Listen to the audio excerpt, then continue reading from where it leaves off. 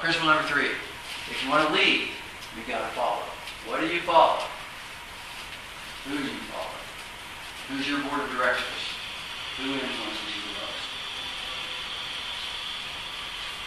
If you have a good internal board of directors, fantastic. You're ahead of most people. If you don't, at least have a set of principles that you can sell out to, right?